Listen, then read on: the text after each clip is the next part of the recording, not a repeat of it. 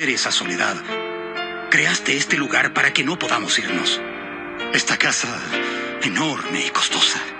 Encerraste a toda la familia, incluyéndote a ti en esta fría casa. De la misma manera que lo hiciste alguna vez con mi madre.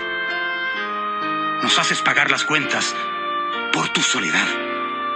Pero tú tienes más miedo que nosotros. Es por eso que mantuviste tu enfermedad en secreto.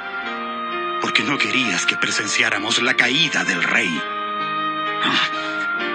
Si hubieras dicho esto hace 20 años, te habría bofeteado. Estoy pensando más en ti que en mí, pero estoy equivocado. Tú no entiendes nada.